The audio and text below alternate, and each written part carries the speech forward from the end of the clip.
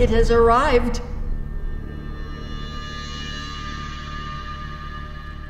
Some of you didn't believe that the new Papa would be able to cast a shadow as wide and far as his great predecessor.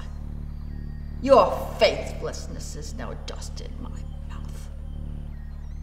You should be on your knees, humbling yourselves before what has been accomplished here.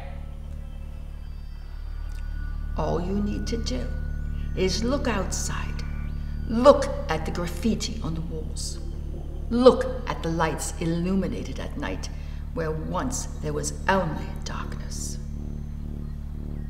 Mothers will whisper warnings to their children. The false prophets will wail from their hollow churches, and in underground hovels like these across the world, our legion will rise. But listen closely now. There isn't much time. There is one thing